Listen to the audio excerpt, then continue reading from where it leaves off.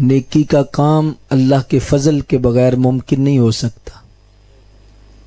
बुज़ुर्गों ने लिखा है कि सत्तर साल माई चरखा चलाती रही।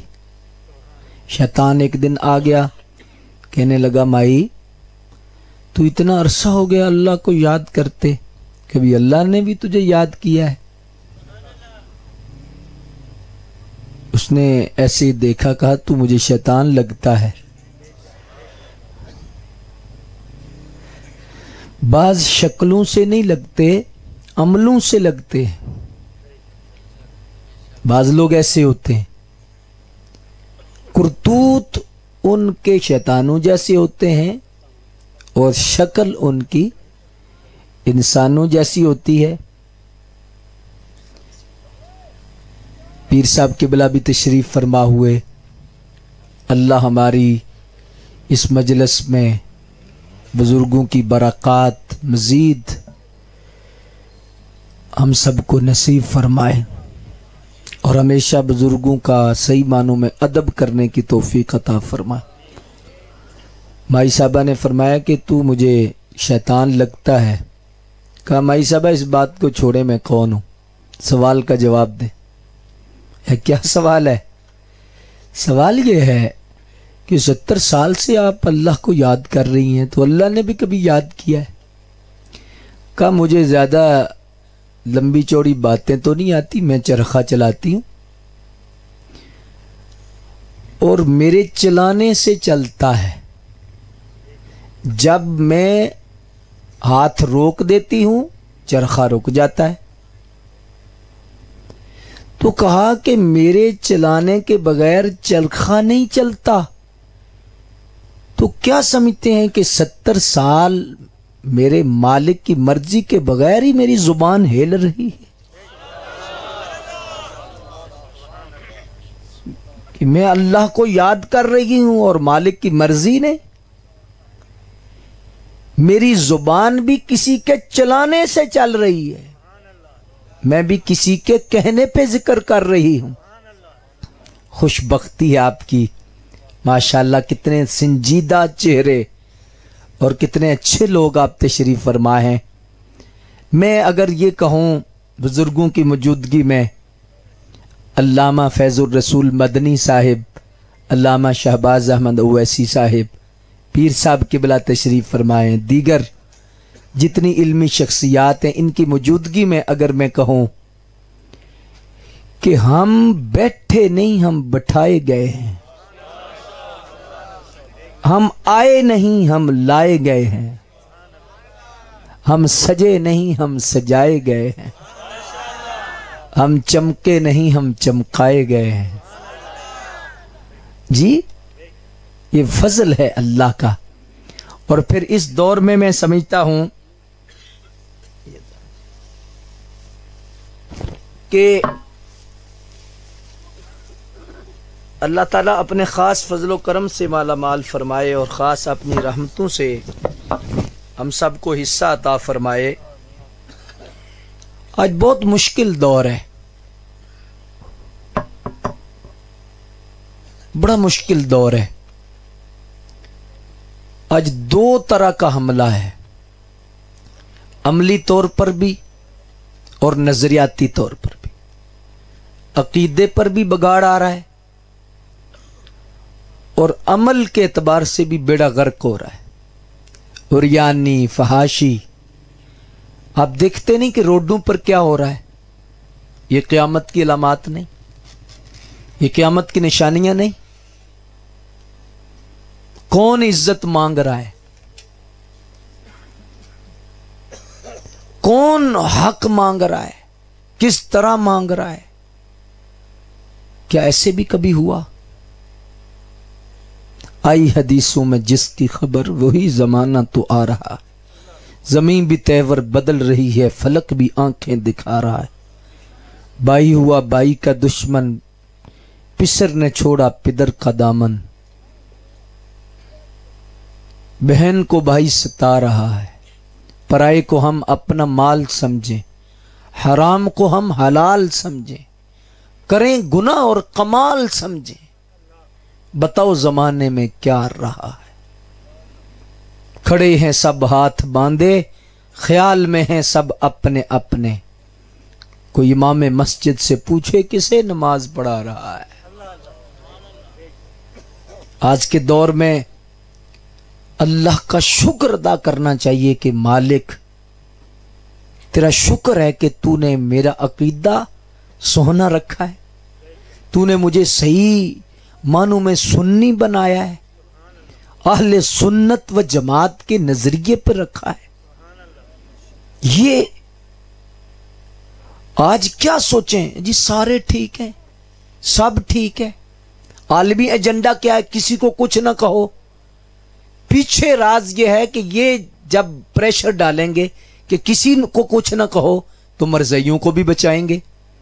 असल में उन्होंने बचाना है उन कुतों को, जिन कुतों के ज़रिए दीन को नुकसान पहुँचा रहे हैं, ताकि चोरों को भेजना है और लोगों को खामोश कराना है मेंबरों पर क्या कुछ ना कहो, ताकि चोर अपना काम करें।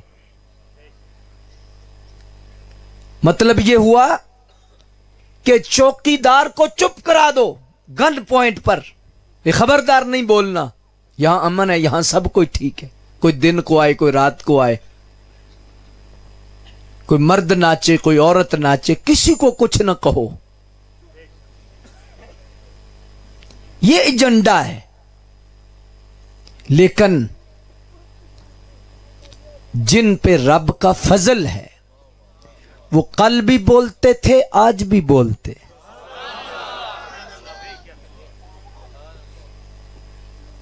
एक सादी सी बात बताओ गाँव का माहौल है। अगर सारे ठीक हैं तो दोजख का क्या मतलब है? अगर सारे ठीक हैं, सारे ठीक हैं, ये एजेंडा है ना, कुफर का, कि सब ठीक हैं जी, जिथे कोई लगा लगा रहने दो। अगर सारे ठीक हैं तो इमाम हुसैन करबला में क्यों गए थे?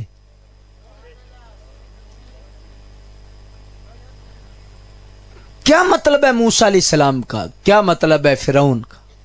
फिरौन कौन? मूसा कौन? इब्राहिम कौन? नमरूद कौन? शर क्या है और खैर क्या है? शैतानी कुवतें क्या है और रहमानी कुवतें क्या है? सच क्या है? झूठ क्या है? सब ठीक है। सारे बराबर हैं? ये कुफर सोच दे रहा है सिर्फ़ उन ताकतों को बचाने के लिए कि किसी को कुछ न कहो, ताकि उन चोरों को बचाया जाए, जिनके ज़रिए वो ईमान लूटना चाहते हैं। जिनके ज़रिए वो अपना काम करना चाहते हैं। जिनके ज़रिए वो अपनी वारदात करना चाहते हैं। इसलिए उन्हें, और ये शुरू से है, ये आज की हुकूमत नहीं, पहले भी। पीर मेहर अली शाह साहब रहमत की जाते ग्रामी, आप मामूर मिनर रसूल हस्ती थे। दो हस्तियों को कादियानी के मुकाबले में रूहानी तौर पर मुंतखब दरबार रिसालत से किया गया। गुंबद खजरा शरीफ से जिनकी ड्यूटी लगी एक ताजदार गोल्डा आला हज़रत सैदना पीर मेहर अली शाह साहब और एक आला हज़रत हजूर पीर सैयद जमात अली शाह साहब मुहदस अलीपुरी। दोनों हस्तियाँ, दोनों अली वाले, दोनों ही सुन्नी, दोनों ही सैयद, दोनों की ड्यूटी लगी। उस वक्त भी अंग्रेज़ की हुकूमत थी तो हर दूसरे दिन एजेंसी ने आ जाना, नहीं जी, आप हाथ हल्का रखें। आप क्यों एहतजाज करते? पीर साहब, बकायदा आपने जुलूस भी निकाले हैं एहतजाज भी किया है। ये जो बात जगह मार पड़ी हुई है ना जी, हम तो सूफी लोग हैं, हमें क्या है? पीर साहब की सोच थी, मसल्ला सिर्फ़ नहीं बचाना, मोहल्ला भी बचाना है। जब आप चले गोलड़ा शरीफ से।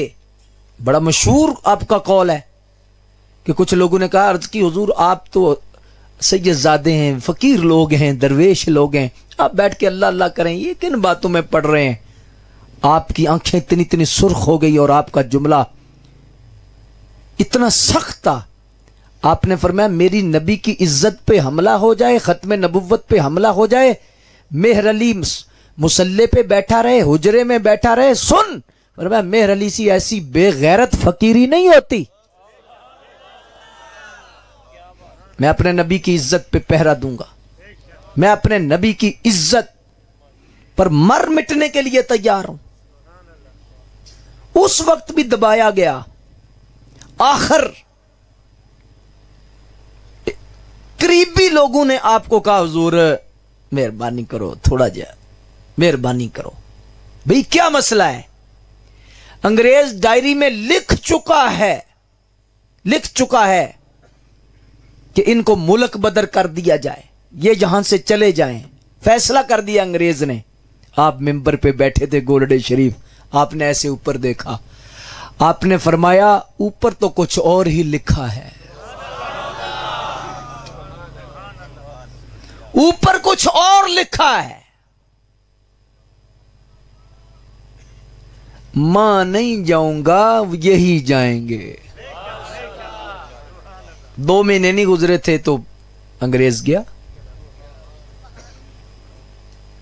सिर्फ़ खड़े होने की बात होती है, डट जाने की बात होती है, दिलेरी की बात होती है। वो कभी भी पुश्त नहीं लगने देते। पंजाबी जिन्हों कहते कंड नहीं लगने देंगे। बस खड़े होने वाली बात है। ये वो सोच आज दबा रही है किसी को कुछ न कहो सब ठीक है ओए अल्लाह के बंदो सादा सब जवाब है कि अगर सब ठीक है सरकार का वो फरमान किधर रखें जिसमें हुजूर ने फरमाया सतफ्तरिक उम्मती अला थलाथिन व सबईन फिरका कुल्लुहुम फिन्नार इल्ला मिल्लतन वाहिदा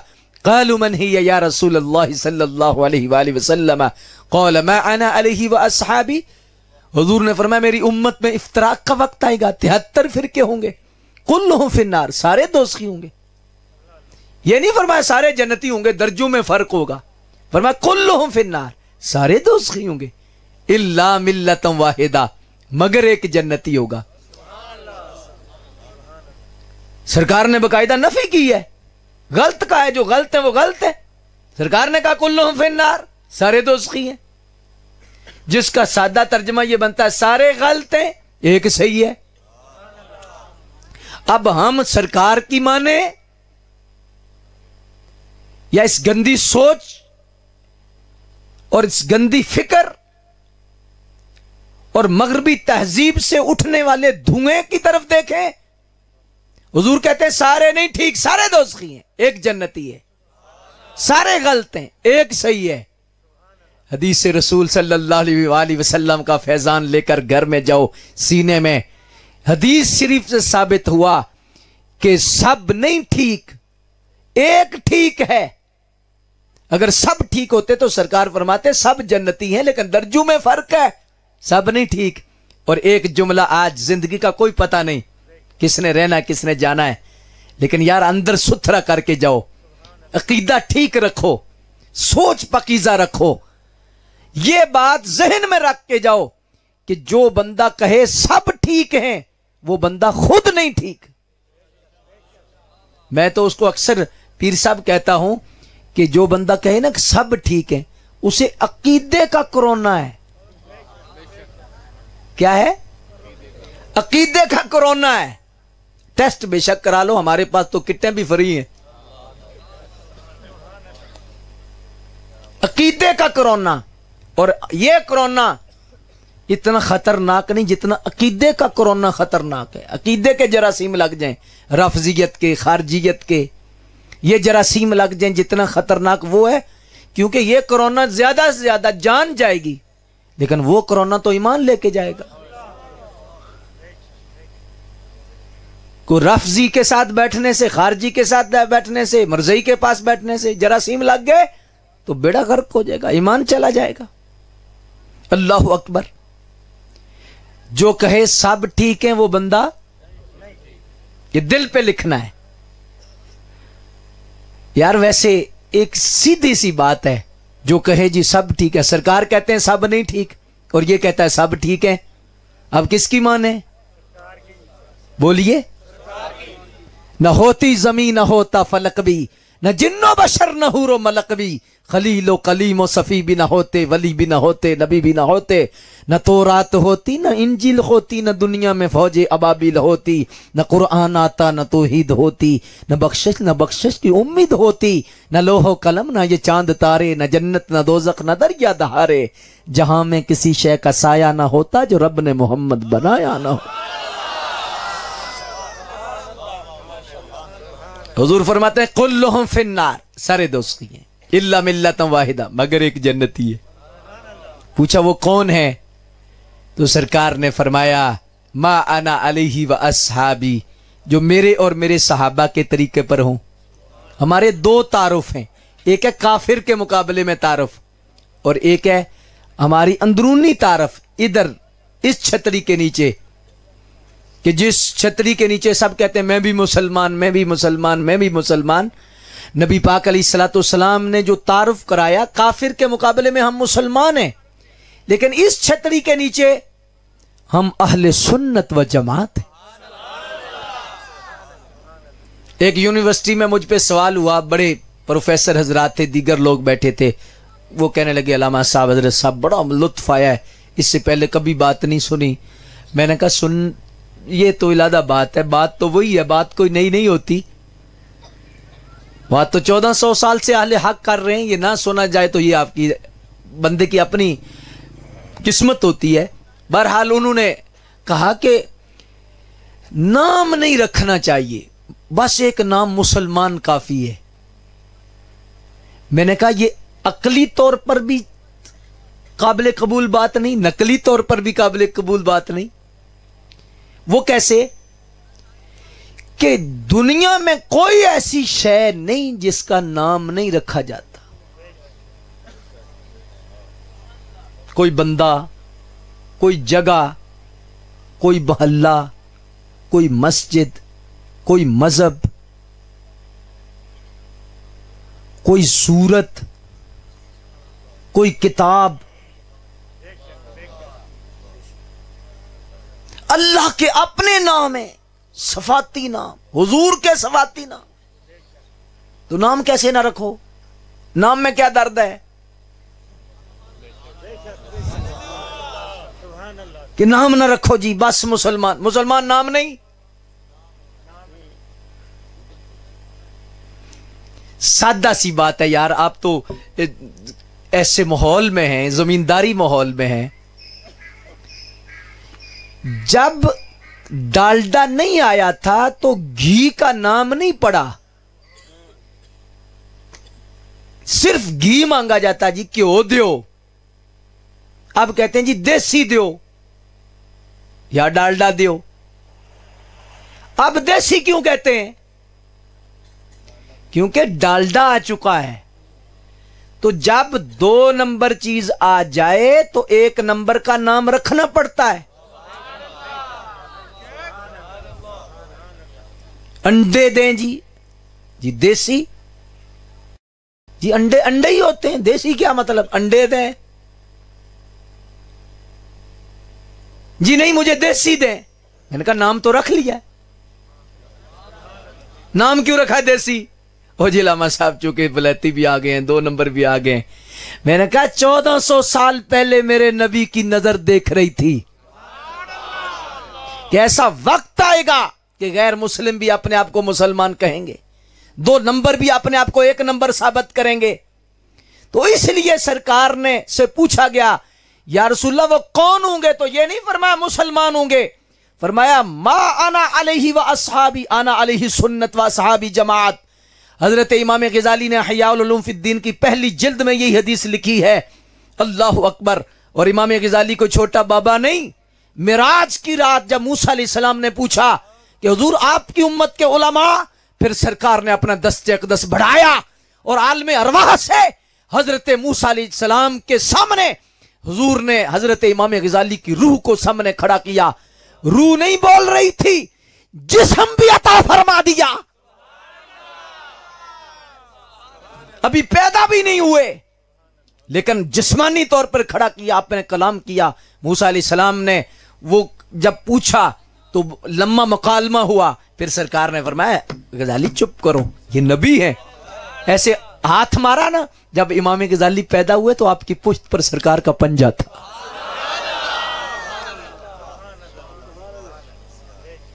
कुछ लोगों ने आपके वक्त में आपकी मुखालफत की।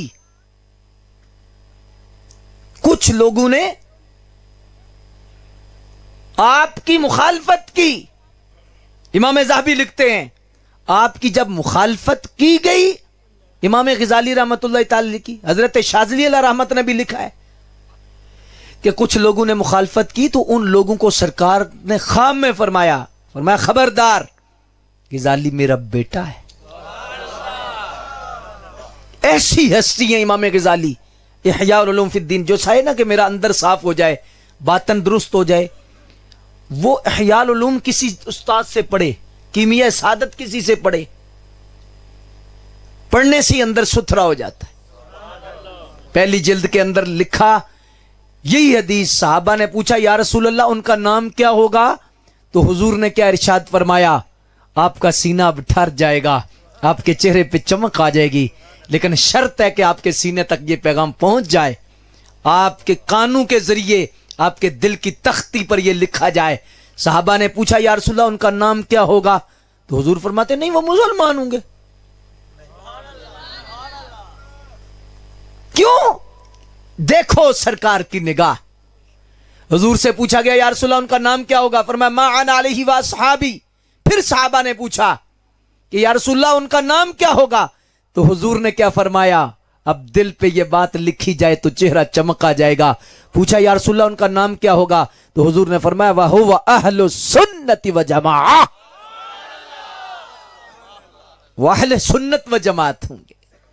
अल्लाह अकबर जल्ला शानो मैं एक और बड़ी खूबसूरत जहद से आप तक पैगाम पहुंचाना चाहता आप थक तो नहीं गए ना? अगर थक गए तो वो और मुख्तसर कर देते हैं। क्या ख्याल है? बोलो। ऐसे ही है ना? बंदा थक भी जाता है ना, हाथ खड़ा खड़ा करके, ऊँचा बोलने से भी। शाम का बैठा हो शाह का, और फिर हर नया बंदा आए और अपने तरीके के मुताबिक चलाए भी अंज बोलो अंज बोलो, हाथ खड़े करो, इधर हो जाओ, सीधे हो जाओ पुटे हो जाओ। तो बंदा थक भी तो जाता ही है।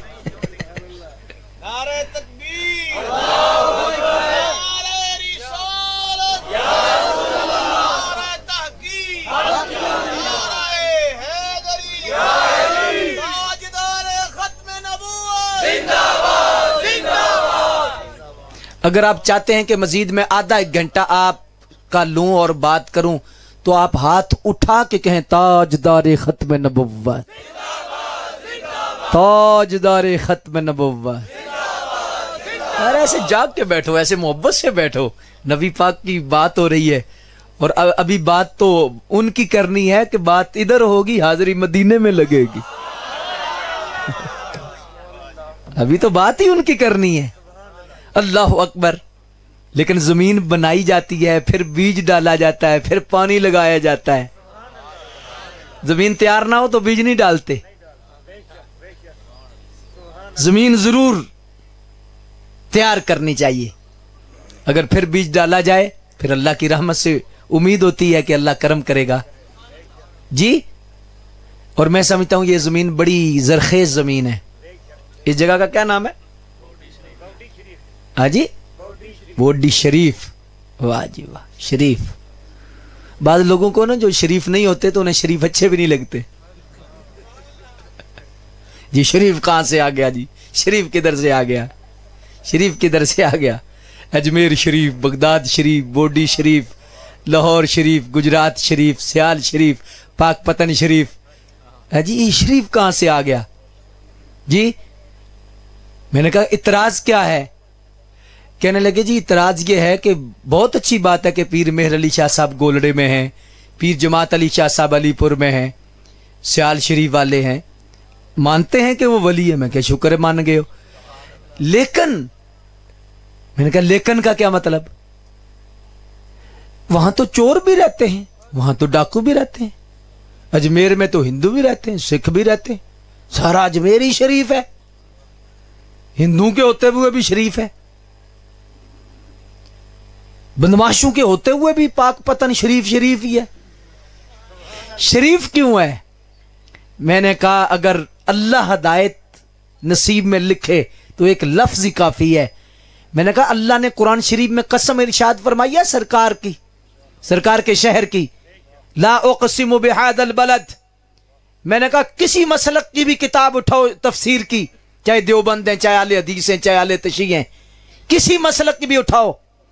हर तफसीर में यह लिखा है यह कसम अल्लाह ने शहर मक्का की उठाई है और वजह कसम हजूर के कदमेन है वह अंत हिल्लुम बिहादल बलद। तो मैंने कहा, अल्लाह से पूछो कि या अल्लाह, पूरे शहर की तूने कसम उठाई है। वहाँ तो अबू जहल भी है, वहाँ तो अबू लाह भी है, वहाँ तो काफिर भी है, वहाँ तो मुनाफिक भी है। या अल्लाह, पूरे मक्के की कसम, तुझे अबू जहल नज़र नहीं आया? और फरमाया, चुप कर! जब देखा जाता है महबूबों को देखा जाता है चोरों को नहीं देखा जाता।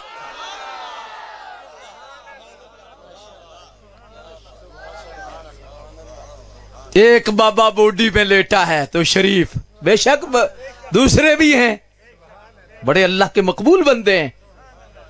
अल्लाह अकबर, पिछली दफ़ा मैं जब आया तो मुझे भी खुशबू आई। अल्लाह अकबर, नजला ना हो तो खुशबू तो आती। है मोमिन की कब्र जन्नत का बाग होती है तो जन्नत से खुशबू नहीं आएगी। आएगी कि नहीं आएगी? बोलो ना।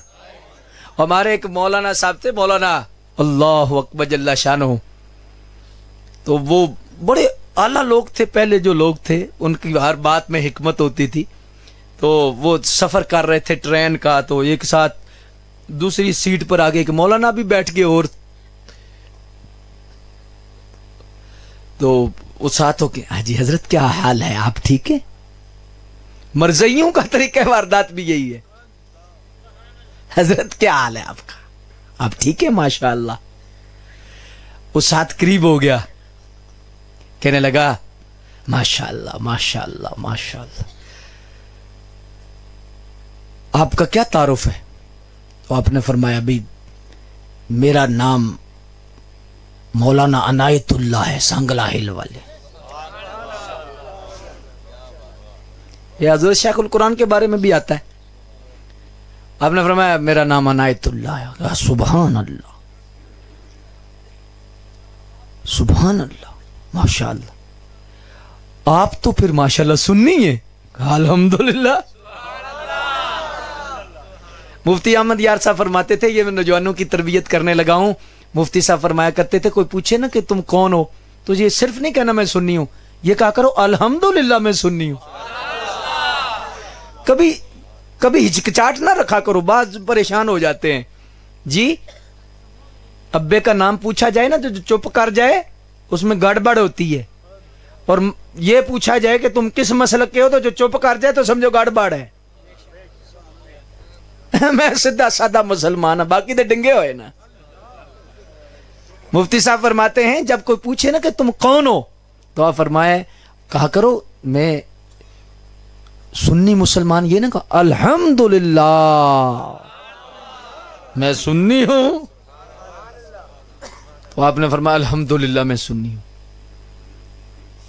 अल्लाह अकबर। वो करीब हो गया। फ़ौरन सूंघने लगा, बड़ा शैतान था। सूंघने लगा इसे। हमने फरमाया, पता नहीं की होया? सूंघन लगा। मौलाना खैर है, की होया? फिर तुसी सुनी तो तुसी जनती होए ना। जी अलहमदुल्ला जनती है ਤੇ ਮੈਂ ਇਸੇ ਵਾਸਤੇ ਸੁੰਘਣ ਲੱਗਾ ਸਾਂ ਵੀ ਖੁਸ਼ਬੂ ਵੀ ਆਉਂਦੀ ਹੈ ਕਿ ਨਹੀਂ ਤੇ ਆਪਨੇ ਫਰਮਾਇਆ ਆਈ ਹੈ ਕੋਈ ਨਹੀਂ ਆਈ कोई खुशबू नहीं आई तो आपने फरमाया भाई तू पूरी हदीस नहीं पढ़ी तू अद्धी हदीस पढ़ी है कि जन्नती दी खुशबू ते तीन मील जाएगी ये अद्धी खुशबू पढ़ी है अद्धी हदीस पढ़ी है जन्नती की खुशबू तीन मील जाएगी तो वो कहता है, मुझे तो करीब से नहीं आ रही। आपने फरमाया, पूरी हदीस पढ़ता कि जन्नती को जन्नती की खुशबू आती है, दोजखी को जन्नती की नहीं आती। जन्नती को खुशबू आएगी। तो मिजारात पे भी जो जाते हैं, उन्हें जिन्हें खुशबू आती है, सबको तो नहीं आती ना। अल्लाह अकबर जल्ला शानम सब सबसे आने से मुराद मुनकरीन है, अपने नहीं। हर क्लास के बंदे होते हैं तो बहरहाल, इस एतबार से जो तीन चार बातें मैं आपके सामने रख रहा था, मोहब्बत के साथ रख रहा था, कि आप लोग इतनी मोहब्बत से आप बैठे हैं तो वो बॉडी शरीफ से बात चल पड़ी ना? कि आपने शरीफ कहा है तो मैंने कहा, ये इतराज भी जाते जाते हल कर जाए, ताकि कोई कहे कि जी शरीफ कहाँ से है? तो फिर शरीफ लोग बताएँ ना? क्या ख्याल है? समझ आइए को नहीं? तो हुजूर जान रहमत सल्लल्लाहु अलैहि वसल्लम से पूछा गया, या रसूलल्लाह, वो कौन है? तो फरमाया वो हुआ अहल सुन्नत वल जमा वो अहल सुन्नत व जमात कौन है? बोलो। वाल जमात नहीं, उर्दू में वा जमात आता है, अरबी में अहल सुन्नति वल जमा अरबी में आता है। उर्दू में क्या आता है? अहल सुन्नत व जमात वाल नहीं। जिनमें वाल होता है, वो और हैं। अहल सुन्नत वाल जमात हनफी। और ब्रैकेट में लिखा होता है। जी, देवबंदी, या कुछ और लिखा होता है। अल्लाह रब्बुना मोहम्मद नबी। भाई, या अल्लाह, या रसूल लिख ले। क्या मसला है? लिख लो। अल्लाह रब्बुना मोहम्मद नबी ना जाल जलाना है। पीर तरीका, तराबर शरीयत, और पता नहीं क्या क्या लिखा होता है। ये सारे जाल हैं। अल्लाह अकबर जल्ला शानम हज़रत इमाम जैनलाबिदीन से पूछा गया कि हजूर ये रिशाद फरमाए कि आपके नाना जान ने फरमाया है कि अहल सुन्नत व जमात क्यामत तक सच्चे होंगे तो उनकी क्या निशानी होगी? तो आपने फरमाया, मिन आलमात अहल सुन्ना कसरत सलात वाला रसूल करीम। फरमा अहल सुन्नत की निशानी है कि वो कसरत से अपने नबी पे दरुद पढ़ने वाले होंगे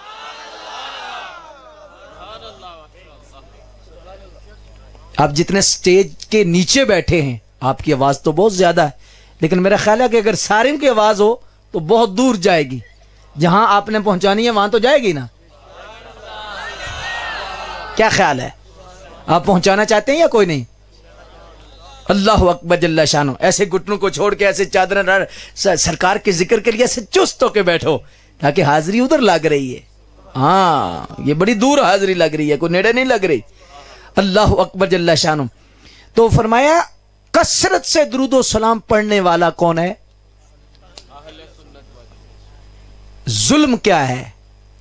कि पढ़ने वाला, हदीस में आता है कि सुन्नी है। तो लड़ने वाला दरूद शरीफ पर वो भी कह रहा है, मैं भी सुन्नी हूँ। हालाँकि दरूद पे लड़ रहा है। कहाँ लिखा है? अजान से पहले किधर लिखा है? अजान के बाद किधर लिखा है? लड़ना ही हुआ ना। भाई लड़ना नहीं। अगर सुन्नी है तो फिर पढ़ना है। अहले सुन्नत व जमात। अब इस एतबार से नबी रहमत सल्लल्लाहु अलैहि वसल्लम की हदीस शरीफ की सूरत में मैंने आपके सामने ये पैगाम दिया। 1400 साल से बुज़ुर्गों का जो नज़रिया है, उस पर हज़रत मुजद्दद अल्फसानी रहमत ने मोर लगाई है। बहुत बड़ी हस्तियाँ हजूर मुजद्दद पाक हजूर गौसे आज़म रदी अल्लाह की रूह मुबारक ने ज़ाहरी तौर पर आके, ज़ाहरी दीदार करा के आपकी तरबियत फरमाई। फिर जब आप पैदा हुए तो हजूर सल्लल्लाहु अलैहि वसल्लम की ज्यारत हुई।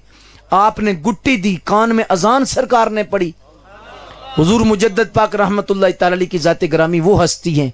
आपने मकतूबा शरीफ में बाकायदा तौर पर पहले दफ्तर के अंदर ये फरमाया है।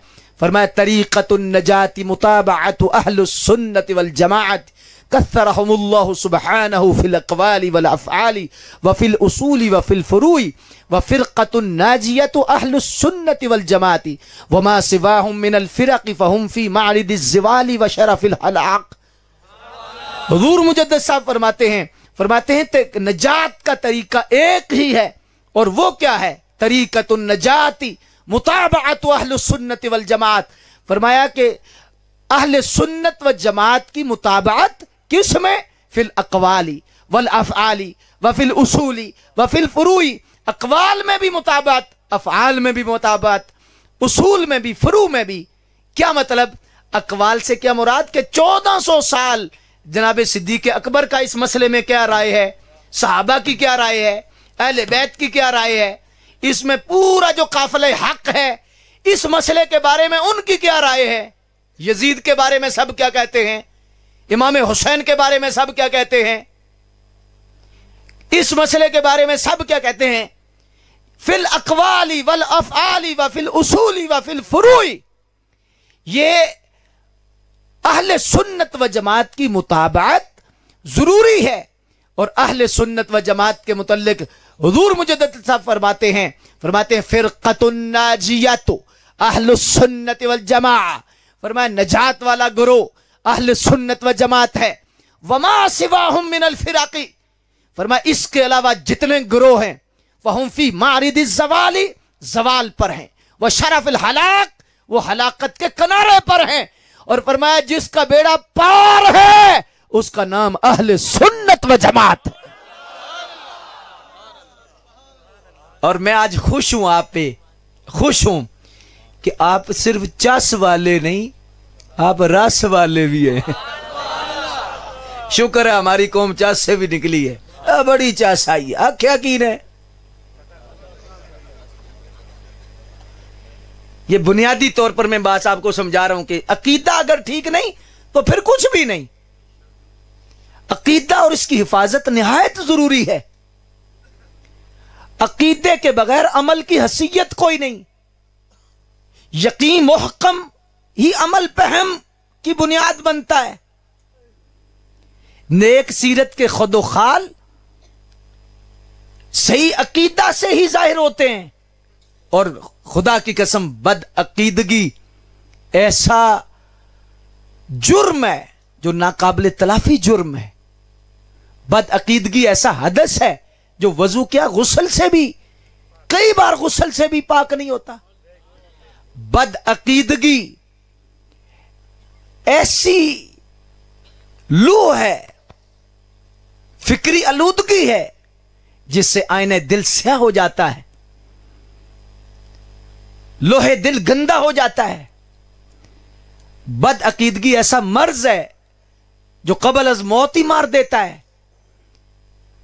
बद अकीदगी की लो से, यानी तपस से नेक अमाल इस तरह जल जाते हैं जैसे कागज़ के पुर्जे जलते हैं। इंसान की बुनियादी फजीलत यह नहीं कि वो जर्रे को चीरे और एटम तक रसाई हासिल कर ले, मरीख को मुसखर कर ले, चाँद की छाती पर पहुँचने का दावा कर ले। इंसान की बुनियादी फजीलत है कि वो सही अकीदा हो। हक कहने, हक को कबूल करने और हक का साथ देने का उसके अंदर जज्बा हो। आज सबसे बुनियादी जो चीज़ सीखने वाली है हमारे अंदर, वो ये है कि ये सैलाब आ रहा है, जी सारे ठीक हैं, ये सैलाब आ रहा है। बस सबसे मिलो, ठीक है, नफरत वाली बातें ना करो, बस सब ठीक है, ये सैलाब आ रहा है। आज ज़रूरी है कि हर बंदे पर फ़र्ज़ है कि अपना अकीदा पहचाने, अपना नज़रिया पहचाने। अगर अकीदा सही नहीं तो नमाज़ का फ़ायदा नहीं, रोज़े का फ़ायदा नहीं। मैं अक्सर संगियों को मिसाल देता हूँ कि एक बंदा नमाज़ पढ़ता है, रोजा रखता है जक़ात देता है, खिदमत खल करता है, सिर्फ़ हुजूर को आखिरी नबी नहीं मानता। आप जितने मजमे में लोग बैठे हैं, स्टेज वालों से नहीं मैं पूछता, आपसे पूछता हूँ कि बंदा सब कुछ करे और हुजूर को आखिरी नबी ना माने, उसकी नमाज़? ज़ोर से थोड़ा सा बोले। बोले। रोजा। खिदमत खल्क। कबूल होगी? क्यों? उसका अकीदा खराब है। माशाल्लाह, आप तो सौ नंबर लेके पास हो गए। आप तो इलम दोस्त लोग बैठे हैं यार। मैं समझता था कि गाँव वाले लोग हैं, ये दौड़े सुननगे। ये तो मुझे आके अभी पता चला कि आप लोग तो माशाल्लाह संजीदा लोग हैं। आप लोग तो इलम की तलब रखने वाले लोग हैं। वरना हम गाँव में जाके परेशान हो जाते हैं, यार हमारी बात तो किसी ने समझनी नहीं। लेकिन माशाल्लाह, अल्लाह का शुक्र है कि ये तब्दीली आ चुकी है वो नहीं।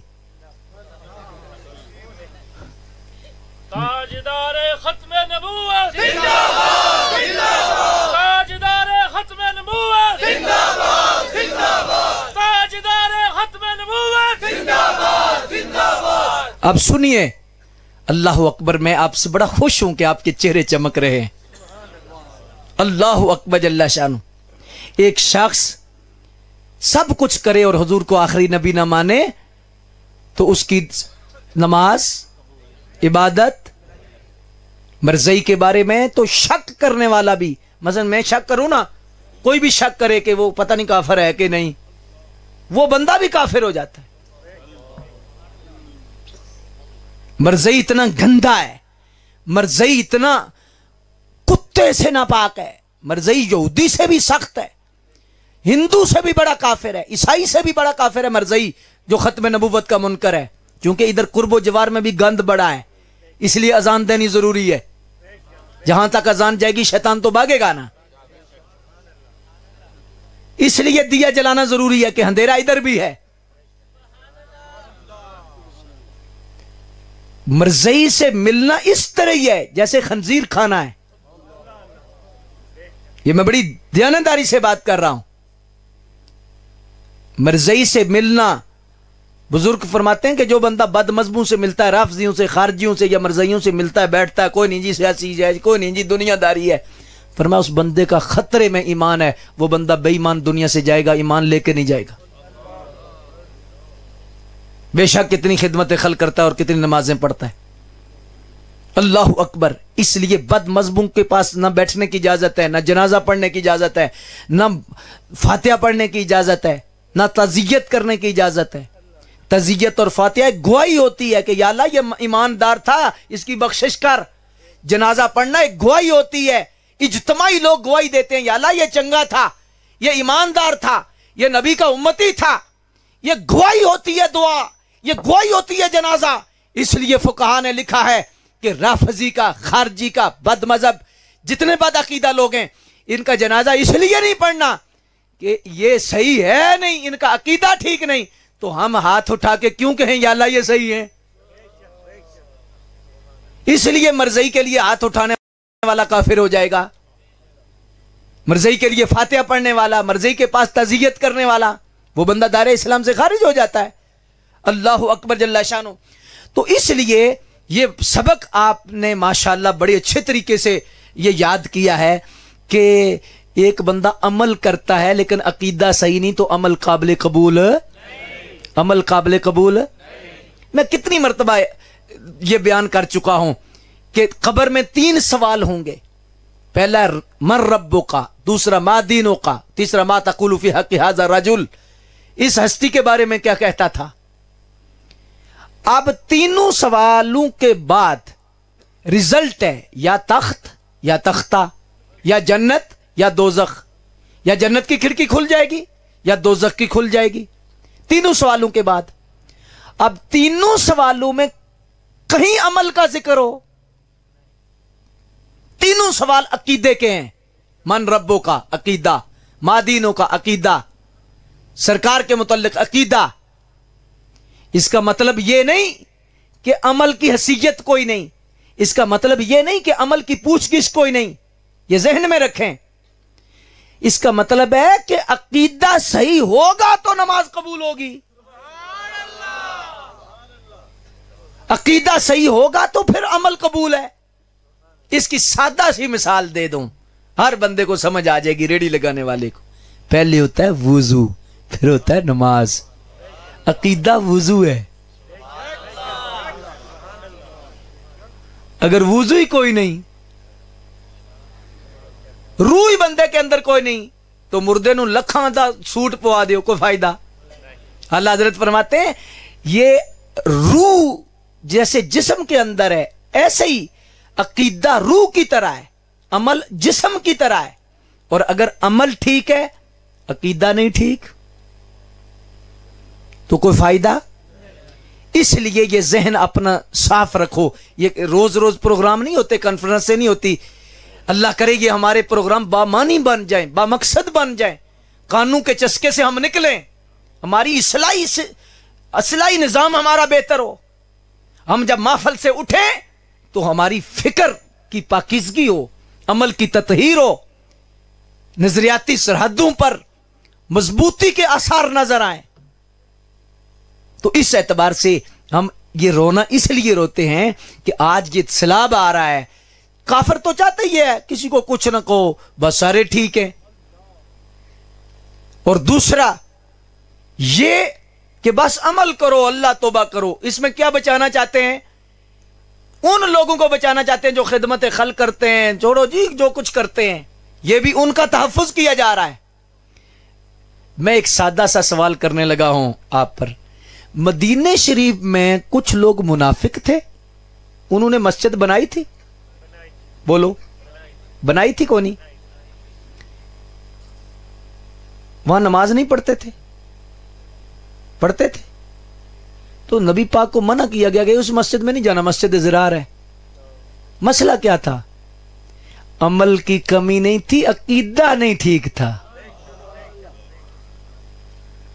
पता चला कि सजदे नहीं बचाते, नज़रिया बचाता है। नज़रिया दुरुस्त हो तो सजदे की कदर है। शैतान को अमल की वजह से मार नहीं पड़ी थी। शैतान को अकीदे की वजह से मार पड़ी थी।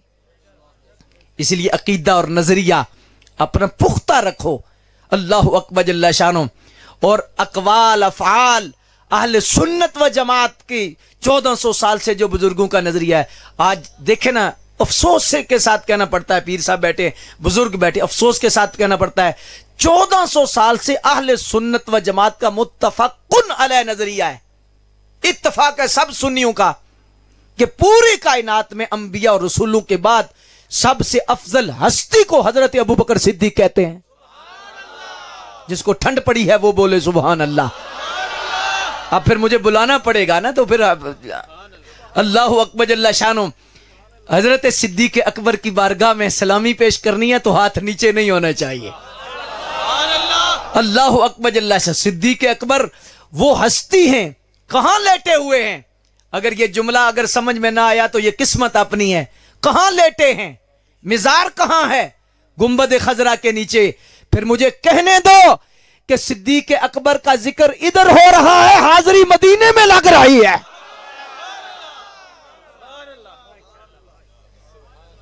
पूरी उम्मत का मुतफकुन अलह नज़रिया है। कि तमाम अंबिया और रसूलों के बाद सबसे अफजल हस्ती हज़रत अबू बकर सिद्दीक है।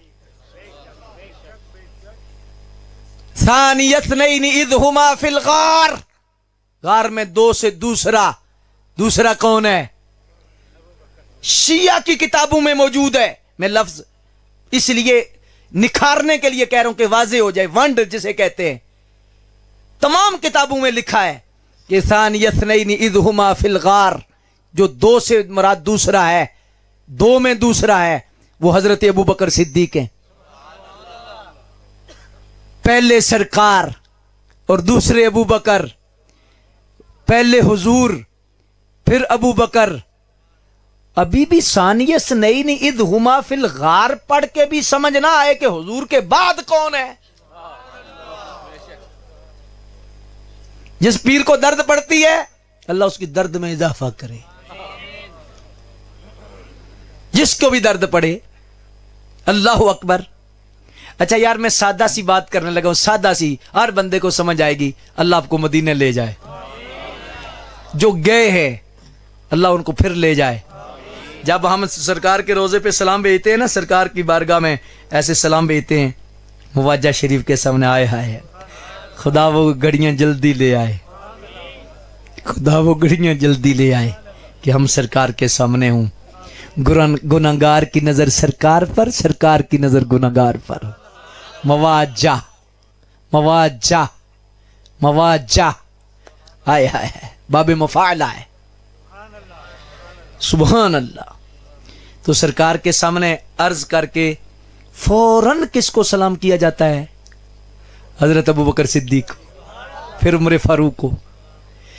गुंबद खजरा के नीचे हाथ बाँध के सरकार को सलाम करके फिर सैदना अबू बकर सिद्दीक को सलाम जब करता है, उस वक्त यह फैसला हो जाता है कि नबी के बाद जिसका नंबर है, उसे दुनिया अबू बकर कहती है। हुजूर के बाद किसका नंबर है? बोलो। शायद मैं समझा नहीं सका। आशकों के मजमू में अगर ऐसा जुमला बोला जाए तो वजद आ जाए। लेकिन यह है कि आपका मजमा भी माशाल्लाह बड़ा जानदार मजमा है। अल्लाह अकबर शान हो बाज बंदे ऐसे होते हैं ना जी, बाज बंदे ऐसे रिंद होते हैं, उनको थोड़ी सी से पीने से नहीं कुछ होता। मैं ये तबीर करता हूँ। मैं तबीर ये कर लेता हूँ आपके लिए। अल्लाह अकबर शानो इसलिए तो आपको गढ़े की ज़रूरत है। जी? लेकिन उसके लिए दिल बड़े की ज़रूरत है। अल्लाह अकबर जल्ला शानो।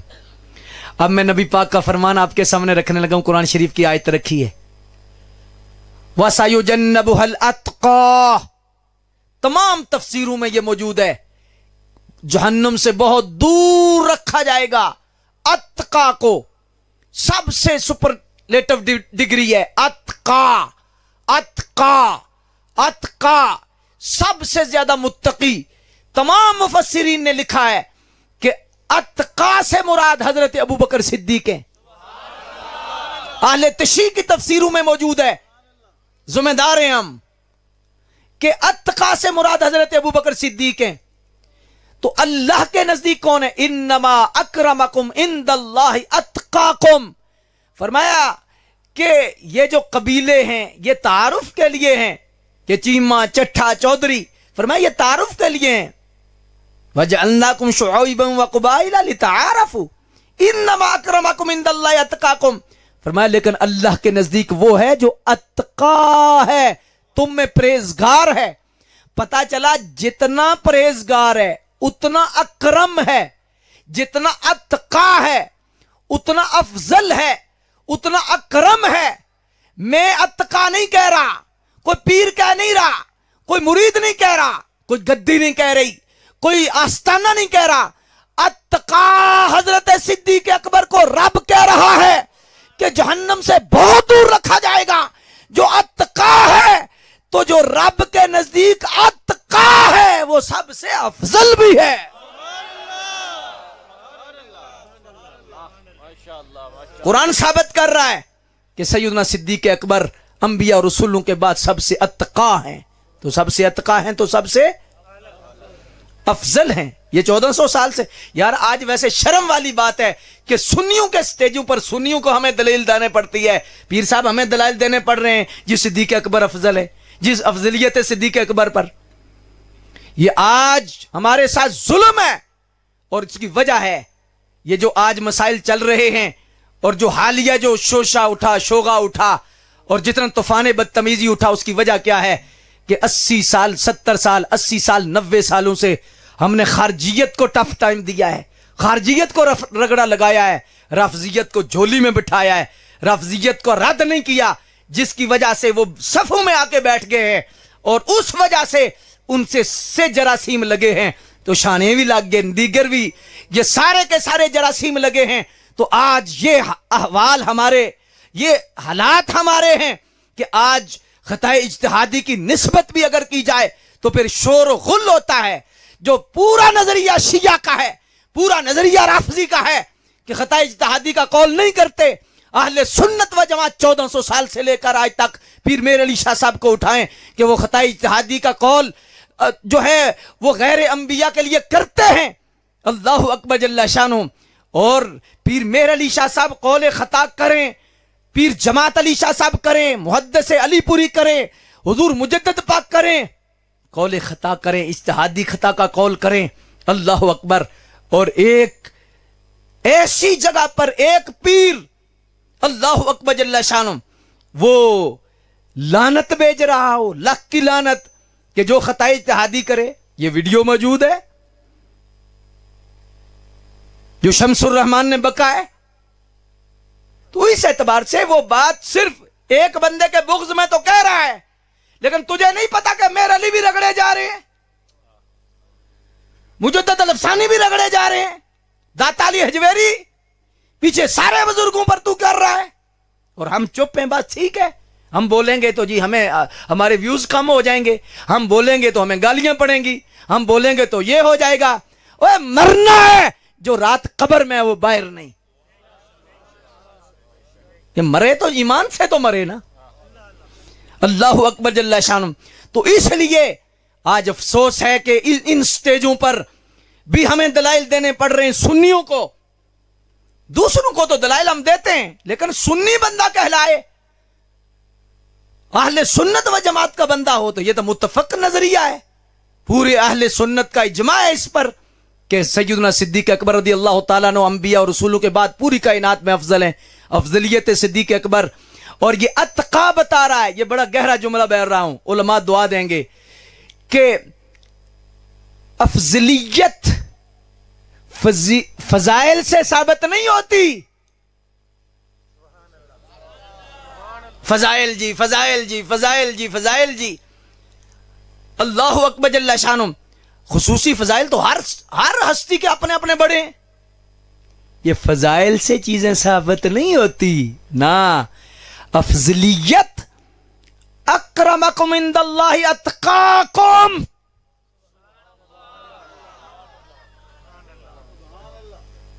अफजलियत इस चीज़ से साबित है। अल्लाह अकबर शान।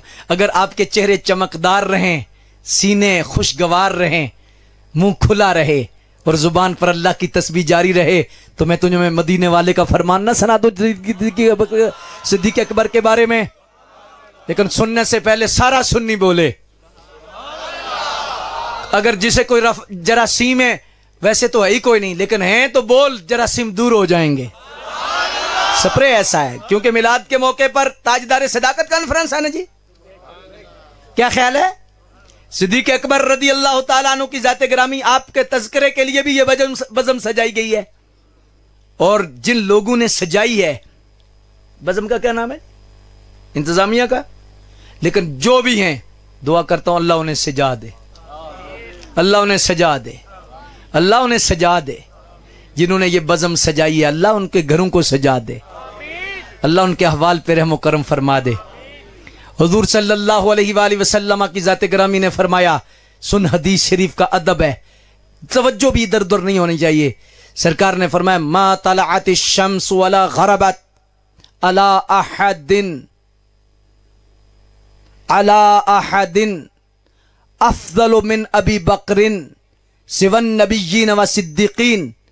फरमाया, मुझे कसम है अल्लाह की मातलात शम्स वला गरबत। कोई शख्स ऐसा ज़मीन पर नहीं गुजरा जिस पर सूरज तुलू हुआ हो और सूरज गरूब हुआ हो। अला अहादिन अला अहादिन। कोई एक बंदा भी कोई एक बंदा भी ऐसा नहीं गुजरा जिस पे सूरज चमका हो सूरज गरूब हुआ हो। मिन अफदल अबी बकर जो अबी बकर से अफजल हो। हुजूर का फरमान है और अगर इजाज़त हो तो कंजुल उम्माल शरीफ से मैं मौला अली का फरमान आपको सुना दूँ। मौला अली का फरमान कंजुल अम्माल शरीफ में। अलामा अली मुत्तकी हिंदी, साहिब कंजुल उम्माल, आप फरमाते हैं कि मौला अली शेर खुदा कर्रम अल्लाह करीम फरमाते हैं, वल्लाही ला मौलूदुन वल्लाही ला ला मौलूदुन फरमाया, अल्लाह की कसम कोई मौलूद ऐसा नहीं, कोई पैदा होने वाला ऐसा बंदा नहीं, ज़मीन पर ला अजका, वला अतहर, वला अफजल, मिन अबी बकर सिद्दीक। मौला अली शेर खुदा फरमाते हैं, मैं अल्लाह की कसम उठाता हूँ कि इस ज़मीन पर कोई बच्चा ऐसा पैदा नहीं हुआ जो अजका हो, अतहर हो, अफजल हो, जनाब सिद्दीक अकबर से। कोई ऐसा बच्चा पैदा नहीं हुआ। अल्लाह अकबर शानो। हुजूर का फरमान सुनो। नबी वसल्लम की जाते ग्रामी ने फरमाया, अबू बकरिन खैरुन्नासी यकून यार काश ये कौम हदीसों पे सुबहान अल्लाह कहे। शेरों पे लगने वाली कौम, ओ मेरी कौम, कुरान हदीस सुन के सुबहान अल्लाह कहो बाद मज़हब यही फ़ायदा उठा के कहते हैं, जी हदीसें नहीं पढ़ते, जी कुरान नहीं पढ़ते, जी दौड़े पढ़ते हैं। मैंने कहा, तुझे दर्द पड़े, सुन तो सही ना। कि सुन्नी हदीसें पढ़ते हैं या नहीं?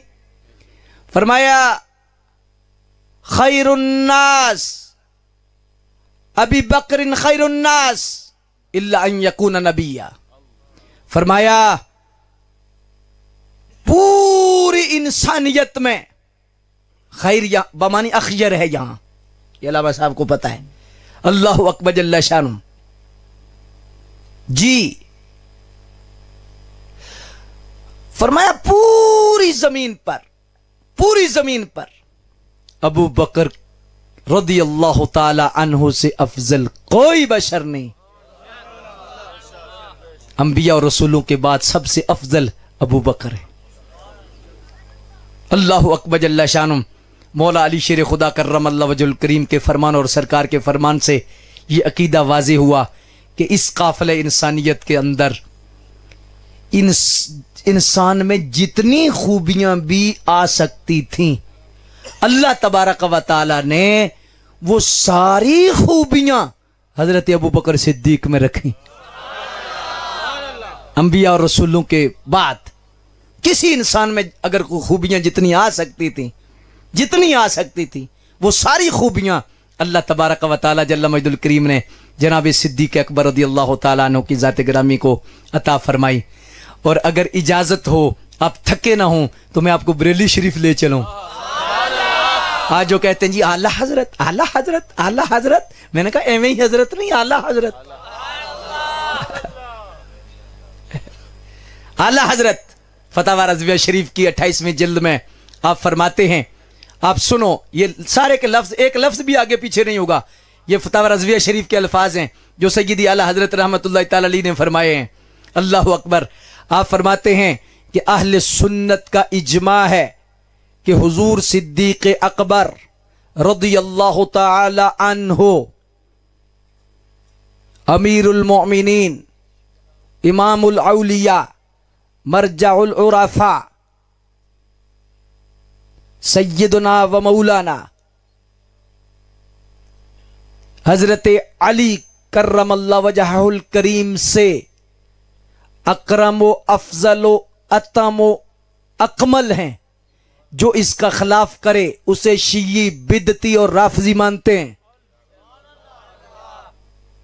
सैदी आला हज़रत, आप फरमाते हैं कि हजूर सिद्दीक अकबर रदी अल्लाह तहो मौला अली शेर खुदा कर्रम करीम से अकरम, अफजल, अतम और अकमल है। जो इसका खिलाफ करे वो क्या है? उसे शी मानते हैं, उसे राफजी और बिदती मानते हैं। यह है आला हज़रत का फतवा फतवा रजविया शरीफ में। तो आप पीर साहब किधर जाएँगे? मुरीद साहब किधर जाएँगे?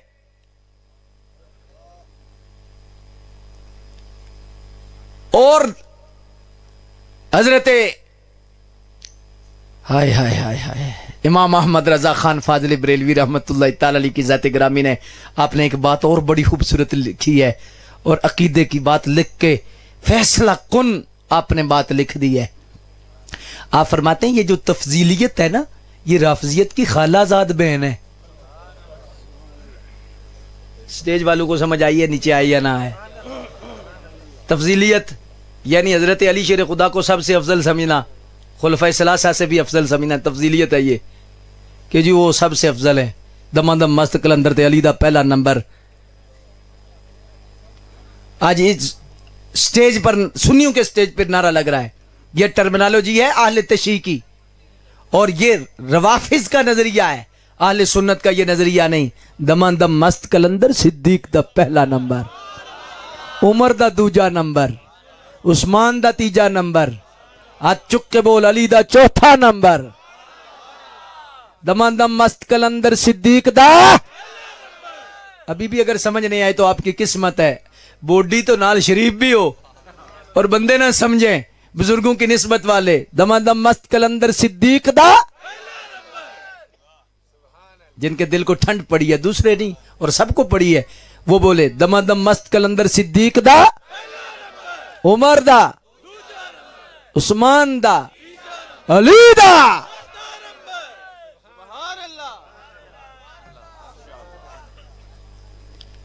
अल्लाह। मोहुद्दीन इबन अरबी रहमत की जाति। थक तो नहीं ना? मोहुद्दीन इबन अरबी रहमत ने फतूहत मक्या शरीफ में लिखा है। आप फरमाते हैं कि मैंने उन बुज़ुर्गों से मुलाकात की जो अख्ताब और ओताद हैं और कुछ बुज़ुर्गों में ओताद ऐसे होते हैं जिन्हें रजबी कहा जाता है। क्या कहा जाता है? यह फतुहा तो मक्किया है। रजबी कहा जाता है। तो हजूर शेख मोहुद्दीन इबन अरबी फरमाते हैं कि मैंने पूछा कि आपको रजबी क्यों कहा जाता है? तो फरमाने लगे कि कुछ ऐसे औताद और अल्लाह के वली हैं कि जिनको रजब शरीफ के महीने में अल्लाह तबारक वाली उनके पर्दे उठाता है। और रजब के महीने में खास अल्लाह इनायत फरमाता है। ये खास लोग खास बात सुनेंगे। हो सकता फिर मौका ना मिले। रजबी वो ओलिया हैं जो उनको रज्जब के महीने में खास पर्दे उठाए जाते हैं। तो हुजूर मुहिद्दीन इबन अरबी फरमाते हैं कि एक रजबी वली से मेरी मुलाकात हुई।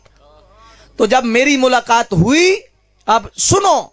आप फरमाते हैं, जब मेरी मुलाकात रजबी वली से हुई तो मैंने पूछा कि यह क्या मसला है? कहा कि सारा साल मुझ पर पर्दे खत्म होते हैं और बिलखसूस रजब में और ज़ाहिर हो जाते हैं। फरमाया, जब पर्दे खत्म होते हैं तो आप क्या देखते हैं? आप फरमाते हैं कि मैं क्या देखता हूँ कि जाहरी तौर पर बंदे हैं, लेकिन बीच में खंजीर की नज़र है, शक्ल है। किसी की कुत्ते की शक्ल है, जिस तरह नफ्स की शक्ल है किसी की बंदर की शक्ल है, किसी की कुत्ते की है, किसी की खंजीर की है, किसी की गधे की है। हालाँकि जाहरी तौर पर बंदा नज़र आ रहा है, लेकिन हकीकत में जानवर। हैं तो आपने फरमाया, मैं पूरा साल देखता हूँ, फतुहात मक्किया मुहिद्दीन इबन अरबी। फरमाते हैं, उस अल्लाह के वली ने फरमाया कि मैं पूरा साल एक कौम को देखता हूँ कि खंजीर की शक्ल है, और वो कौन से हैं जो सहाबा के गुस्ताख हैं या सैद अमीर मुआविया के गुस्ताख फरमाया, सारा साल उनकी मैं शक्ल देखता हूँ, बंदे की नहीं नज़र आती। मुझे खंजीर की शक्ल आती है। यह फतुहात मकिया में हज़रत मुहिद्दीन इबन अरबी ने लिखा है कि फरमाया, रफजी की शक्ल मैंने सारा साल देखी और बड़े गौर से देखी कि जो साहबा के गुस्ताख हैं मोजुद्दीन इबन अबरी ने, आला हज़रत ने, मुजद्दद साहब ने तो हज़रत अमीर मुआविया रदी अल्लाह तु की ज़ात ग्रामी का इनकार करने वाला या जर्रा बराबर भी जिसको तबीयत खराब होती है, उसको रफजी लिखा है। और आज हमारे आस्थानों पर, आज हमारी दरगाहों पर क्या बेड़ा गर्क हो चुका है, क्या कुछ हो चुका है? हज़रत सैद अमीर मुआविया रदी अल्लाह के मतलब और नजरियाती तौर पर हम कितने गिर चुके हैं, अल्लाह तबारक व हमें मुआफ़ी अता फरमाए, फजल फरमाए। हो सकता है कि ये बातें थोड़ी सी खुश्क हों, लेकिन ये स्प्रे बीमारी के लिए ज़रूरी था। क्या ख्याल है? बीमारियाँ बहुत सारी है ना? तो इसलिए ये स्प्रे, बोलो। क्योंकि माहौल भी, ये स्प्रे फिर कभी कभी होता है। आजकल तो माहौल है, बस ठीक है जी। चस वाला माहौल है। तो रस वाले माहौल में थोड़ा दबाना पड़ता है, तब जूस निकलता है ना। तो ना दबाया जाए तो। रस कैसे आता है? अल्लाह अकबर जल्ला शानो यार, खुदा की कसम अल्लाह ने हज़रत सैदना सिद्दीक अकबर को वो मकाम और वो मरतबा दिया कोई बंदा सोच नहीं सकता। कोई सोच नहीं सकता। अल्लाह अकबर जल्ला शानो हज़रत मियाँ मीर रहमत के पास एक शिया मुजतहिद आया। तो आपने फरमाया भी तुम्हारे नज़दीक इमाम हुसैन की क्या शान है? तो कहने लगा, जी, हमारी किताबों में लिखा है कि चालीस मील दूर मशरक, मगरब, शमाल, जनूब में अगर किसी हुसैन के मानने वाले की कब्र बने तो उसे अजाब कब्र नहीं होता। तो आपने चुप करके वो समझने लगा बात बहुत बड़ी है और ये वेड़ा छोटा है। आपने फरमाया इस बात को छोड़। अल्लाह के बंदे तो दिलों पर नज़र रखते हैं दिलों के जासूस होते हैं। तो मी अमीर रहमत की ज़ात ग्रामी आपने फरमाया तू किताबों की बात करता है सुन्नियों के दिलों पे लिखा है चालीस मील दूर क्या है? हो गुलाम हुसैन कायनात के किसी कोने में भी कबर बने अजाब खबर नहीं होता। वो सुन्नी वो गुलाम हुसैन, वो सच्चा। तो अजाब कबर वो उसकी आँखें खुली की खुली रह गई, लेकिन आपने फरमाया, मैंने जिस वजह से सवाल किया, वो जवाब मुझे दे। जी करें। आपने फरमाया, भी नवासे की शान ज़्यादा या नाने की? नवासे की ज़्यादा या नाने की? कहने लगा, जी, नाने की। तो आपने फरमाया, नवासे के चालीस मील दूर बरकत है कि जिसकी कबर बने, उसे अजाब कबर नहीं होता। नवासे के चालीस मील दूर भी बरकत है तो जो नाने के करीब लेटे। हैं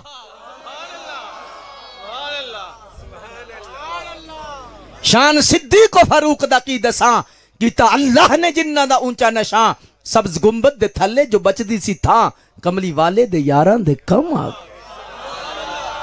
अब तो हक बनता है ना नारा लगाए, गली गली, नगर नगर। वैसे ये जन्नती आवाज़ है, ये कबर की रोशनी है ये आपकी अपनी मर्ज़ी है। ये थकावटें थकूवटें कौन ही रातें, दिन। जब आँखें बंद होती हैं, फिर खुलेंगी। लेकिन मैं कसम उठा के कहता हूँ, ये जो हाथ उठ रहा है ना, कबर में वजनी होगा। कबर रोशन होगी। अल्लाह अल्लाह की रहमत नाजल होगी। एक की बजाय बेशक दो हाथ उठा ले। अल्लाह अकबर शानो। गली गली, नगर नगर। डट के बोल यार, डट के बोल। गली गली, नगर नगर। अब मजमे में कोई नारा लगाए मजमे में लगाए। हक। वाह।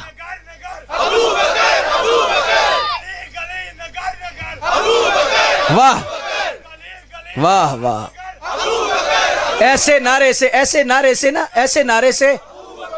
एक याद रखो, ऐसा नारा जो लगाए ना पता लग जाता है, इसकी असल भी ठीक है, इसकी नस्ल भी ठीक है। अल्लाह अकबर जल्ला शाह पीछे से एक नारा लगाओ बंदा बे। वाह वाह।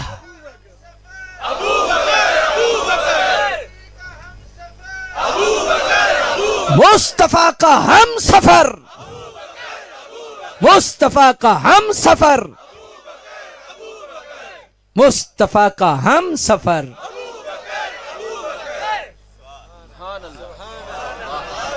लेकिन हमें दर्द नहीं होती, हम सुननी है। हमें तो हजूर की हर नस्बत से प्यार है। हम तो ये भी कहते हैं, नगर नगर, गली गली, अली अली। नगर नगर, गली गली। असली बोले, नस्ली बोले। नगर नगर, गली गली। गली गली, नगर नगर। हक। सुबह अल्लाह। तो इसलिए अल्लाह अकबर शानो आज देखे ना, कोई तनकीद नहीं। मैंने इसलिए गुफ्तगु की है, किसी पर कीचड़ नहीं उछाला। यही कहा है कि सच्चा कौन है और झूठा कौन है। ये तो कलमे में शुरू से हो जाता ला इलाहा, कोई ला नहीं। पहले गलत है, फिर सही है, पहले नफी है, फिर इस बात है। ये तो एजेंडा ही नहीं है कि किसी को कुछ ना कहो, फिर तो कलमा ही छोड़ दो। किसी को कुछ ना कहो तो फिर जितना जी दिल आजारी होती है। तो मैंने कहा, जो इला और भी मानते हैं, उनकी दिल आजारी नहीं होती जब कहा जाता ला ला, और नहीं नहीं तो उनकी दिल आजारी नहीं होती। यही मसला जना सरकार के बारगाह में पेश किया गया। अल्लाह अकबर शानो। सरकार के चचा को उन्होंने कहा कि बस ये कि हमारे बुत्तू को कुछ ना कहें, अपना तबलीग करें। कभी हमारे पास आ जाया करें, हम कभी आपके पास आ जाया करेंगे। बस इस तरह निज़ाम चलता रहे, आप हमसे मिले, हम आपसे मिले, सुलह कुल्ली कर लें। जी तो सरकार के पास आए तो सरकार सल्लल्लाहु अलैहि वसल्लम की जाते ग्रामी ने फरमाया फरमाया, अल्लाह की कसम, अगर ये लोग मेरे एक हाथ पर चाँद रख दें, एक हाथ पर सूरज रख दें, फिर भी मैं हक बोलना नहीं छोड़ूँगा। अल्लाह अकबर शान तो किसी को कुछ ना कहो, ये कलमे का इनकार है। ला इला पहले नफी है, फिर इस बात है। तो इसलिए ये जहन साफ़ रखो। लेकिन मैं मोहब्बत के साथ एक अर्ज़ ऐसी कर रहा हूँ कि सबकी समझ में आएगी, तनकीद के तौर पर नहीं इसलाह के तौर पे। आज ये जो घोड़ा निकाला जाता है, एक मज़हब घोड़ा निकालता है ना? ठीक है, उनकी अपनी सोच है, उनकी अपनी फ़िक्र है, लेकिन एक सवाल है। कि ये जो घोड़ा निकालते हो, क्या ये इमाम हुसैन का घोड़ा है? नहीं ना? सिर्फ़ उस नस्बत की वजह से कि घोड़ा था। आल सुन्नत की और जैद जो मुहक्किन लोग हैं, उनकी नज़र में तो घोड़ा ही नहीं था। ऊँट पर आप सवार थे। जी। और ये बड़ा लंबा चैप्टर है, बड़ी लंबी बात है, छोड़ो इस बात को। घोड़ा ये जो आज निकाला जाता है मुख्तलिफ़ जगहों का, इमाम हुसैन इस पे बैठे थे? बोलो। ये बात अगर आपके पल्ले पड़ गई तो आपका पल्ला भारी होगा। है जी? अल्लाह अकबर जल्ला शानो अब नबी रहमत सल्लल्लाहु अलैहि वसल्लम की जाते ग्रामी के नवाज़ से, उनसे मंसूब ये घोड़े हैं जी, ये घोड़ा है, जो घोड़ा है। और अकीदत कितनी है कि नीचे से गुजरा जाता है, फिर लीद खाई जाती है, फिर मुत्र पिया जाता है। और फिर पता नहीं क्या क्या, जो भी है उनका अपना नज़रिया, अकीदा है या जो भी जो सारा सिलसिला है, उस पर बात नहीं। अव्वल से आखिर तक ही गंद है तो फिर क्या बात करें? लेकिन है क्या कि वो इमाम हुसैन का घोड़ा एक मंसूब है, एक फर्जी घोड़ा है कि बस इमाम हुसैन से मंसूब किया गया है। अल्लाह इमाम हुसैन उससे बैठे नहीं।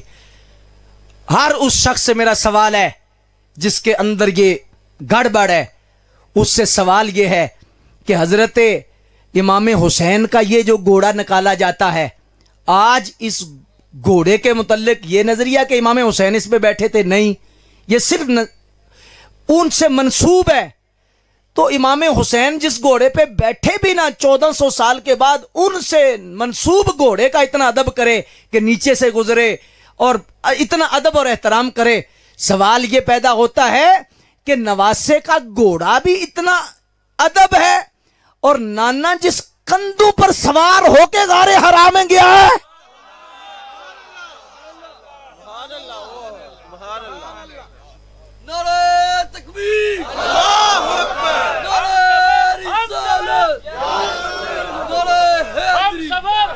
सवाल यह है कि इमाम हुसैन का घोड़ा अगर घोड़े का इतना अदब है हालाँकि वैसे मंसूब है।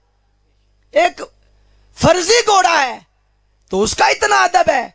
यार, अकल मानती है कि उस अबू बकर जिनके कंधों पर सरकार ने बैठकर तीन मील का सफ़र करके गारे सौर पे गए, उन कंधों का हया नहीं?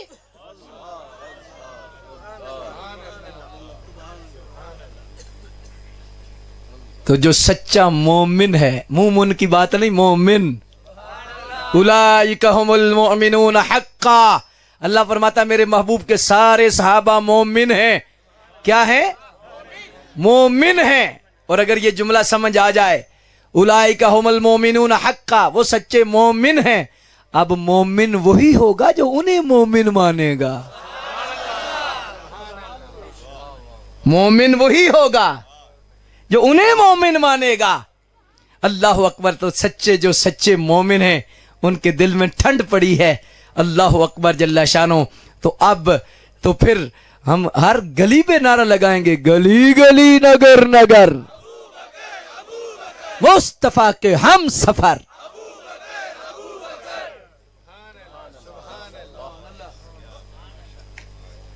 अल्लाह अकबर जल्ला शानो।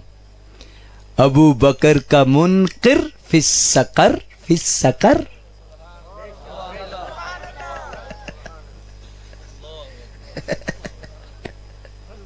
समझ नहीं आई? उलमा समझ गए। और कोई ऐसी बात भी नहीं कि आप उनको ना समझाएँ। हाँ। अबू बकर का मुनकर फिस सकर फिस सकर। सकर है जहन्नम, दोजख। जो अबू बकर का मुनकर है, इसके लिए जन्नत नहीं, इसके लिए दोजख है।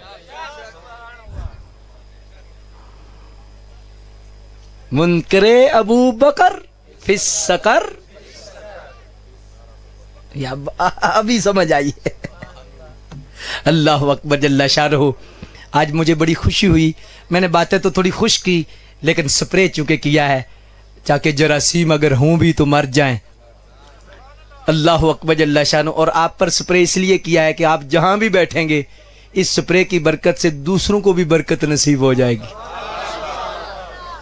और अब अगर इजाज़त हो तो आखिरी बात कर लें। मैं अब हाथ नहीं खड़ा कराता, लेकिन एक एक बात ज़रूर पूछना चाहता हूँ। जिसने इशा नहीं पढ़ी, हाथ ना खड़ा करे। सिर्फ़ सवाल है कि ये माफिल मिलाद इतनी ज़रूरी नहीं जितनी इशा ज़रूरी है। अल्लाह का वास्ता है इशा पढ़ के सोना है। अगर चाहते हो कि मिलाद कबूल हो जाए तो नमाज़ ना छोड़ो। नमाज़ से महफल ज़रूरी नहीं। अब देखें कि ये मिजाज है ईशा पढ़ के नहीं आना, फजर जाके नहीं पढ़नी। ईशा आपके अम्मी अबू को पता चल रहा है पुत्र? आप फ़िक्र ना करें। आप इज़्ज़त कर रहे हैं अपने अब्बू की, अपनी अम्मी की।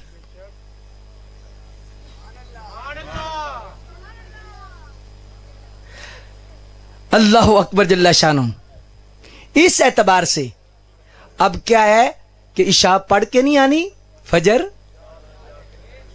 कितने गए मिलाद शरीफ सी।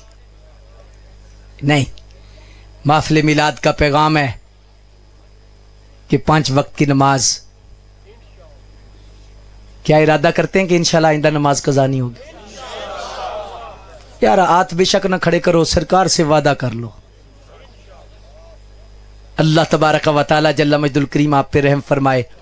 इस खुशी में मैं आपके लिए दुआ करने लगा हूँ, अल्लाह आपके ईमान की सलामती फरमाए। हाथ उठा के दुआ मांगे। हाथ उठाए ना ज़रा? हाय हाय हाय। हाथ उठाए। अल्लाह आपके ईमान को सलामत रखे। अल्लाह आपको मदीने शरीफ ले जाए। आपको मक्के शरीफ ले जाए। मुँह पे हाथ फेरे, आमीन कह के। मैंने हाथ फेरा, मेरे हाथ में कुछ आया है। आपके हाथ, आपने हाथ, फेरा आपके हाथ में कुछ आया है? जी? अगर कुछ आया है तो शुक्र करें।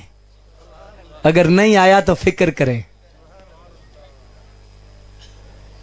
कायनात का सबसे हसीन चेहरा नबियों का चेहरा है। और नबियों में भी सबसे हसीन चेहरा मेरे और आपकी नबी का चेहरा है। और अगर हुसन में दाढ़ी फ़र्क लाती तो कभी अम्बिया के चेहरे पे दाढ़ी। अल्लाह अकबर जल्ला शानू। मैंने बुज़ुर्गों के बारे में पढ़ा है कि जिनका अकीदा सही हो, कब्र में जब सरकार आते हैं ना तो इस शनाख्ती कार्ड को दे पहचान है ना? इस शनाख्ती कार्ड को देखकर सरकार फरमाते हैं, जिनका अकीदा सही हो, फरिश्तों से, इसे जाने दो। ज़िंदगी का कोई पता नहीं, सुबह एक्सीडेंट हो जाए, कोई ऐसी वबा आ जाए, बंदा चला जाए। ये बस वसा शैतान देता बस सुन, रखनी है, उमरा करके रखनी तेन पता उमरा करना ही? तुझे पता हज करना है? तुझे पता ये होना है? अल्लाह पाक आप पर ख़ास फजल करम नाजल फरमाए और ख़ास रहमतों का नजूल फरमाए और अल्लाह पाक इस इलाके को मज़ीद शादो आबाद फरमाए। मज़ीद अपने फजल से माला माल फरमाए। ताजदार ख़त्म नबुवत ये हुजूर की इज़्ज़त का नारा है। हाय हाय और ये, वो वो और नारों पर अगर सुस्ती हो जाए तो फिर भी काबिल बर्दाश्त है। लेकिन ख़त्म नबूवत के नारे पर सुस्ती नहीं होनी चाहिए। ये बख्शिश की जमानत है। ताजदार ख़त्म नबूवत। ताजदार ख़त्म नबूवत। ताजदार ख़त्म नबूवत। ताजदार ख़त्म नबूवत ये गलियों में जहाँ जिन जिन गाँवों से आप आए इतनी दूर दराज से आए हैं, जिधर से भी आए हैं, जाते भी नारा, आते भी नारा। गली गली, नगर नगर नगर नगर, गली गली। हाँ मैं अगले दिन ना जी इधर वो गए थे, ये इस्लामाबाद की तरफ़ ना तो वापसी जब आ रहे थे तो रात दो अढ़ाई बजे का टाइम है। तो दो तीन जवान जो है ना मुझे बड़ी खुशी हुई, बड़ी खुशी हुई। और खुशी ये हुई कि वो जवान जो थे, वो तीनों, एक ये कह रहा था, ताजदारी खत्म, नबूवत दो कह रहे थे, जिंदाबाद जिंदाबाद ज़िंदा बड़ा दिल राज़ी हुआ यार। फिर उन्होंने ये भी नारा लगाया, गली गली, नगर नगर। आपकी ज़ुबान पर भी ये हो, और इस नारे की बरकत से अल्लाह ईमान भी सलामत रखेगा। अल्लाह पे फजल फरमाएगा। आज के मिलाद शरीफ का पैगाम नमाज़ नहीं छोड़नी। आज के मिलाद शरीफ का पैगाम अकीदा सही रखना है। सारे नहीं सही। जी, सही कौन है? अल्लाह अकबर शान जिन्हें अहल सुन्नत व जमात कहा जाता अल्लाह अकबर शान पीर जमात अली शाह साहब का फरमान मैं अक्सर भेजता हूँ लोगों को पैगाम देता हूँ। पीर जमात अली शाह साहब ने आखिरी ज़िंदगी में, आखिरी वक्त में आपने इरशाद फरमाया, भी मैं आखिरी वसीयत तुम्हें करने लगा हूँ कि मकान पुराना हो जाए तो नया ले लेना, कपड़े पुराने हो जाए तो ले ले लेना, गाड़ी पुरानी हो जाए तो बदल लेना जो शय पुरानी हो जाए नई ले लेना। फिर मैं जमात अली तुम्हें दो बातें कह रहा है, एक अकीदा नया नहीं लेना, एक अब्बा नया नहीं लेना। अकीदा भी पुराना ही रखना है और अब्बा भी अब्बे से मुराद ये होता है हर दूसरा शाह मैं भी शाह जी हाँ ਇੱਥੇ ਹੋਰ ਕੋਈ ਹੁੰਦੇ ਨੇ ਤੇ ਜਾ ਇਸਲਾਮਾਬਾਦ ਇਹ ਚੀਮਾ ਸਾਹਿਬ ਬਣਨਾ ਜੀ ਇਹ ਬਾਜਵਾ ਸਾਹਿਬ ਬਣ ਇਹ ਚੱਠਾ ਸਾਹਿਬ ਬਣ ਤੇ ਇੱਥੇ ਪਤਾ नहीं केड़े साहब बन तो अब्बा बदलने के मुतरादफ ही है ना तो इसलिए फरमाया ना अब्बा बदल रहे ना अकीदा बदल रहा है। अल्लाह अकबर जल्ला शानो अभी पार्टीशन नहीं हुई थी ना तो दो बेचारे शान लड़ पड़े। सैयद ज़्यादा जो सच्चा सैयद ज़्यादा है, आले रसूल का जो बेअदब है, कुत्ते से भी ज़्यादा पलीत है। ये आले सुनत का नज़रिया है। ये कोई मज़ाक नहीं। जो आले रसूल का मुनकर है, वो तो जानवरों से भी बदतर है। आले रसूल का एहतराम, ये तो खून के हर कतरे से होना चाहिए। लेकिन आले रसूल के साथ असहाब रसूल का भी बेअदब। असहाब रसूल का गुस्ताख भी। जहन्नम के कुत्तों में से कुत्ता है। अल्लाह अकबर शानो। तो वो अभी पार्टीशन नहीं हुई थी तो वो एक जज के सामने दो बंदे पेश हो गए, कहने लगा, एक कहने लगा, दूजे ते इल्ज़ाम लाए, नहीं, ए, असली नहीं, मैं असली सैयद हाँ। दूजा कहना, जी, नहीं, मैं असली शाह दूसरा, नहीं। दो लड़ पड़े काजी के पास चले गए, जज के पास चले गए। कहा भी गवाह ले आओ।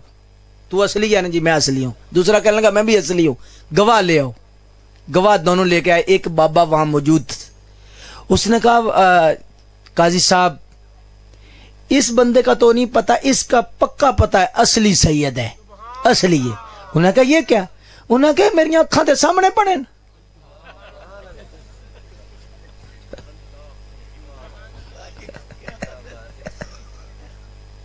ये तो मेरी अखा के सामने बने पहला तो सन तो मैं तो आई नहीं शायद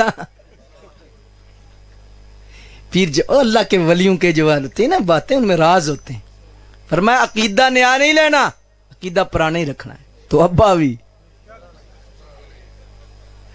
अल्लाह तबारक वाली हमारा हामी नासिर हो। ताजदार खत्म नबुवत